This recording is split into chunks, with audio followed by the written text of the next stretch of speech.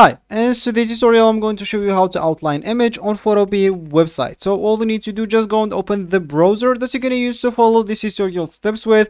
So of course here in my case I'm actually using Brave, but of course in your case you can use any other browser could be possibly working for you.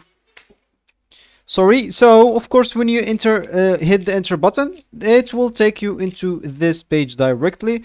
I just had the problem, so of course just go as I said and type photo p.com and you will be right here at this page. So of course from here all you need to do just go and create a new project. If you want to open something from a computer if you want to choose some of their psd templates or you can just drop your file here and start working on it. So for me i'm just going to click at new projects and I'm going to choose something simple. Let's just choose this as an example let's just wait until it loads and as you can see once it loaded you'll see everything uh, or every component in this template here at the right here. So of course you can start editing on it or you can just uh, delete this uh, text or you can move them do whatever you want with it. Of course you can do several things. So of course if you uh, uh, want to go back you can just hit the control z and as you can see you go back. So of course if you want to outline an image first of all let's just insert an image by clicking at this gallery right here.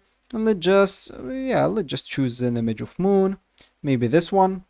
Just click on it and as you can see it's inserted right there directly. So let me just hide all of those or just delete them because I don't want them. So of course this image we would like to outline it. So let's just make it smaller a bit so you can see the outline. So we would like to outline it. So all we need to do just double click on that image right here and from here we would like to go to stroke.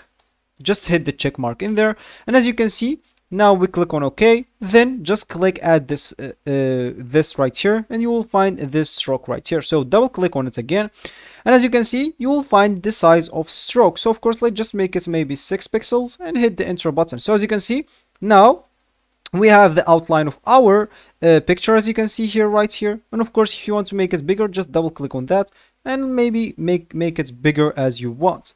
And hit ok. As you can see now our image is outlined outlined. So this will be actually for this tutorial. I hope you like it. Thank you guys for watching and goodbye